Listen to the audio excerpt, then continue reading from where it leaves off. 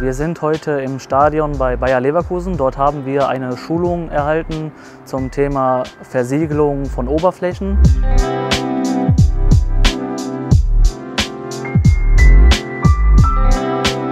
Diese Oberflächen haben wir mit einem Alkoholreiniger vorgereinigt, sodass die Lackversiegelung drauf beschichten bleibt und auf Dauer Viren und Bakterien bekämpfen soll.